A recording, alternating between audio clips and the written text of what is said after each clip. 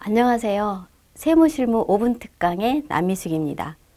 어, 전 시간에 법인 결산 과정에 대해서 우리가 15가지에 대해서 정리를 해봤었는데요. 이제 지금부터는 그 과정을 한 가지씩 정리해보는 시간을 갖도록 하겠습니다. 저는 딱히 이제 결산을 진행하면서 뭐 정해진 순서는 없지만 저 나름대로 그 과정이 있어요.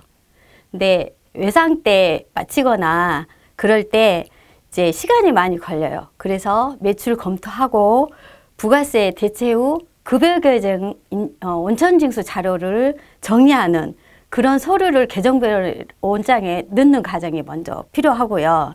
이제 우리가 3월 초가 되면 이제 결산 준비를 하기 위한 그런 안내문을 보냅니다. 그런 안내문을 보낼 때는 왜 보내냐면 3월 말까지는 신고가 있습니다. 그동안 변경된 서류 있으면 저희한테 주세요. 이런 안내문을 보내는 건데요. 이제 준비하고 그런 과정이 필요하고 그 다음에 안내문 보내놓고 난 뒤에는 어, 어, 결산과 관련된 서류가 도착이 됩니다. 법인 등기부 등본도 오고 이런 식으로 그런 서류가 도착이, 도, 도착이 되면은 그 서류를 파일철에 딱 정리를 해 놓습니다. 그럼 파일철에 정리를 해 놓고 난 뒤에는 무슨 일을 하느냐면 그 다음에 명단을 작성을 해야 돼요. 이제 명단을 작성을 해야 되는데 제일 먼저 매출에 대한 그 확정을 해야 되거든요. 그러면 명단은 부가세 신고서와 매입 매출장과 합계잔액 시산표를 보고 매출 명단을 먼저 확정을 짓고 아까 서류 받았었잖아요. 그 받은 서류를 등기부 등본은 어 이제 구청을 체크를 해주고 그 다음에 주주 명부는 이제 변동사항이 있으면 우리가 신고를 해줘야 되니까 그거를 체크하는 과정을 먼저 갔습니다. 주주 변동된 사항 같은 경우에는 주식 양도세 신고했던 여부를 체크를 하는 거고요.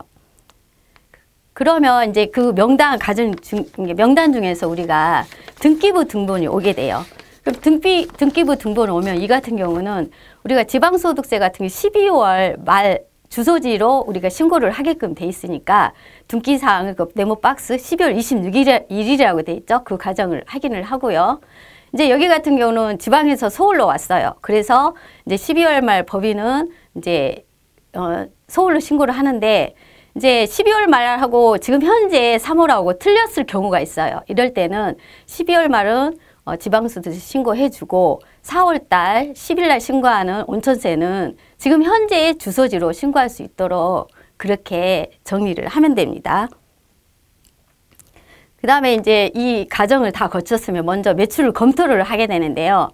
여기서는 매출 세액과 매입 세액을 상계 처리해서 부가세 납부 세액을 정리하는 과정입니다. 여기 부가세 신고서를 보면 부가세 대급금이 보이죠? 납부를 하게 되고 그럼 이 먼저 정리를 할 때 부가세 납부가 있을 때는 대급금을 숫자를 가지고 대변에 숫자를 정해줍니다. 그래서 대변에 부가세 대금, 차변에 부가세 예수금 해서 납부 세액을 정리를 하는데 이때 저는 학계전액 시산표를 확인해 돼, 확인하게 돼요. 1월부터 3월을 들어가게 되면은 이제 그 금액이 뜨는데 납부 세액이 안 보여요. 1, 1월부터 3월은. 그럴 때는 정기월 자료를 납부를 해주다 보면 그 과정에서 이제 부가세가 정리되는데 이런 식으로 4, 5, 6, 7, 8, 9, 10, 11을 학계잔액 시산표하고 정리를 하면 이제 부가세 신고서가 부가세 대급금이 대체가 정확하게 되는 거고요. 그 다음에 이제 환급이 나왔어요. 그러면 환급이 나온 경우에는 이제 반대로 정리를 해주면 됩니다. 이제 우리가 부가세 신고에 대해서 이제 지금 정리를 아까 했잖아요.